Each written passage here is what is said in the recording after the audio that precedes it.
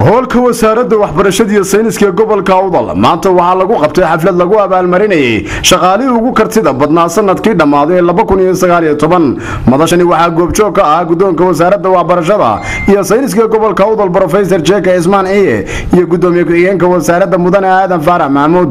Sidoo kale waxaa goobjoog ah shaqaale weynaha wasaaradda waxbarashada iyo sayniska. Ugu horeyn haddaba waxaa sharaxay dadkani maanta la abaalmarinayay iyo sida loo soo xulay gudoomiye ku-xigeenka wasaaradda waxbarashada iyo sayniska ee gobolka awdal mudane aadan faarax maxamuud waxaanu halkaasi ka sheegay. Gudoomiyaha iyo tiimka la shaqeeya ayaa u xulay dadkan inay noqdaan dadka la abaalmariyo ama dadkii ugu kartida fiicnayd. Nin walbana waa laga yaabaa maalinta isagu loo garto inuu hawshaasi gutay. Insha allahu tacaala waa la siin doonaa. Inta yare laakiin la bixinayo ama shahaado sharaf yaroo kooban waxaa ka muhiimsan shaqada aynu u hayno bulshada iyo abaalkan ilaahay kaga doonayno. Waxaa laga yaabaa dadku marka xagga sharciga marka laga eego dad badan baa u fahamsan subaxii markaan shaqo tagayno inaan adduunyuun ka shaqaynan. Soo maaha waxaa la yidhi qofka camalkiisu qofku camalkiisa hadduu xalaashado daacadna uu ka noqdo camalkan uu shaqaynayaa haba noqdo kii uu caruurtiisa ku masruufayay. Waxay galaysaa baabka cibaadada soo saas maaha geestooda waxaa halkaasi ka hadlay qaar ka mida maamulayaasha iyo macallimiinta aadna u soo dhoweeyey xafladani abaalmarinta. Waxaanay halkaasi ka sheegeen. Waa munaasabad aad iyo aad markaa runtii loogu farxo waana waxqabad fiican oo markaa dadka dhiirigelin ku siinaysa in shaqadooda sii wataan.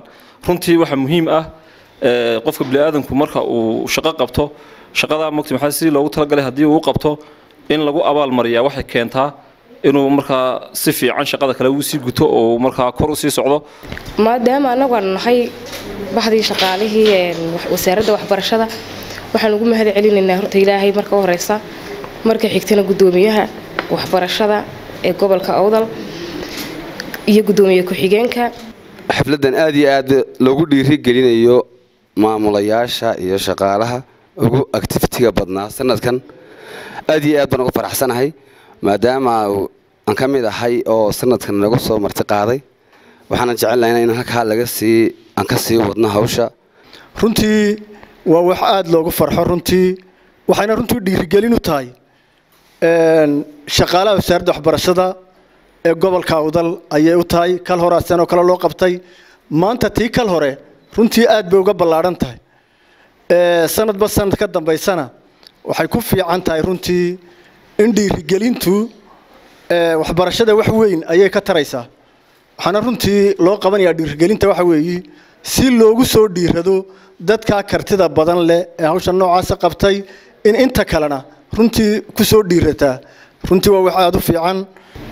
Ugu dambeyn waxaa halkaasi ka hadlay gudoomiyaha wasaaradda waxbarashada iyo sayniska ee gobolka awdal brofesor jeka ismaan iyo waxaanu si qoto dheer uga waramay ahmiyadda ka dambaysay in la abaalmariyo shaqaalihii ugu kartida badnaa sannadkii dhammaaday waxaan marlabaad aada uga mahad celinayaa dhammaan shaqaalaha wasaaradda waxbarashada ama macallin ha ahaado ama maamulo ahaado ama kormeero ahaado dhammaantood waxaan uga mahad celinayaa sidii wanaagsanayd ee sanad dugsiyeedkii labada kun sagaaliyo toban iyo ilaa imkaynu ku jirno labada kun muxuuha tobani tobaniga ah. Sidii wanaagsanayd markaa shaqada u soo guteen. Dhammaantoodaan uga mahad celinayaa waxaana leeyahay ilaahay miisaanka xasanaadka ha idinku daro.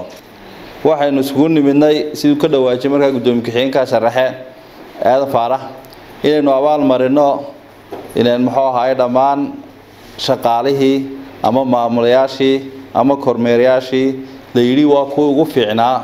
Marka laga yimaado muddadii hore ee abaalmarintaan bixinay sanad dugsiyeedka qaybtiisii dambe inaynu markaa abaal waynu ognoo dee shaqaalaheenu kun bay gaadhayaan kunkaasi dee lama wada odhan karo dee waxbaynu gaadhsiinaa.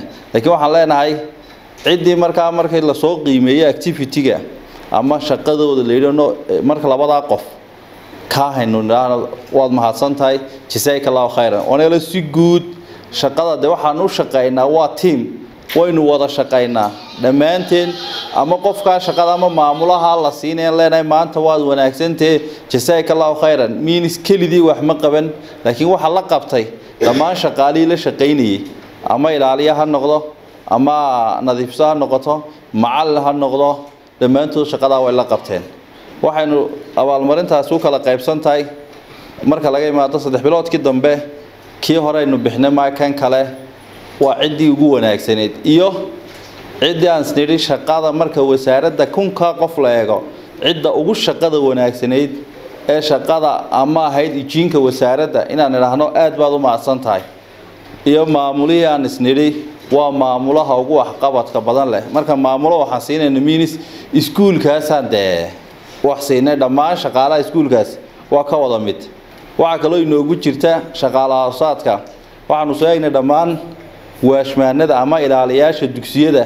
Ilaaliyii aan isnidhi si wanaagsan buu ama lexejeclo fara badan baa ku jirta uu ilaaliyaa iskuulka inusna ka mid noqdo. Iyo gabadhii aan marka xagga nadaafadda iskuullada iyo xataa wasaaradda la eegay gabadha aan isnidhi waa gabadha ugu lexejeclada badan leh nadaafadda diyaar u ah inay yadna ka mid noqoto inaan dadkaynu abaal marinayno sababtoo ah waxaan dhammaanteen wada nahay shaqaale. Haddana qof walba inuu shaqada u hayaanu ugu mahadnaqno aynu ku ogaanaana waa mid iyadna waajiba